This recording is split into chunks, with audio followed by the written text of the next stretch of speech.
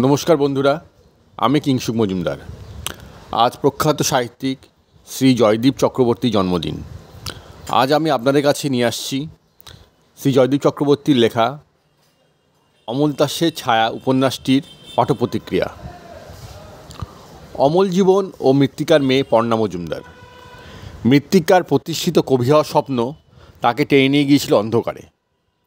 সমসাময়িক প্রতিষ্ঠিত ক্ষমতাশালী কবি নিখিল সোমের সাথে মৃত্তিকার মানসিক ও শারীরিক সম্পর্ক হয়। মৃত্তিকার গর্ভে আসে পর্ণা। অমল জীবন পর্ণার বায়োলজিক্যাল বাবা না হওয়া সত্ত্বেও পর্ণার সব সুখ স্বাচ্ছন্দ্যে দায়ভার নিয়েছিলেন। এক বৈশাখী পূর্ণিমার রাতে ট্রেন লাইনে আত্মহত্যা করে মৃত্তিকা। পর্ণা প্রথম দিকে অমল জীবনকে ঘৃণা করলেও পরে নিজে জন্মবৃত্তান্ত জানতে পারে।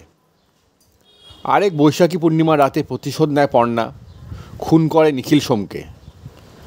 আশ্চর্যজনকভাবে এই খুনের তদন্তের ভার পড়ে পর্ণার কলেজের বন্ধু অরিন্দমের উপর। অনেকদিন পর পর্ণার সাথে দেখা হয় অরিন্দমের। তাদের মধ্যে পুরনো ভালোবাসা আবার প্রকাশিত হলো, মিলিত হলো পর্ণা অরিন্দম। তদন্ত করতে কি সব বুঝতে পারে অরিন্দম? তদন্তে ফাইল বন্ধ করে চাকরি ছেড়ে দেওয়ার সিদ্ধান্ত নেয় সে।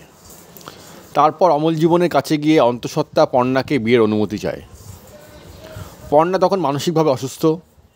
পর্ণাকে বিয়ে করে ব্যাঙ্গালোরে তার নতুন কর্মস্থলে নিয়ে যেতে চায় অরিন্দম।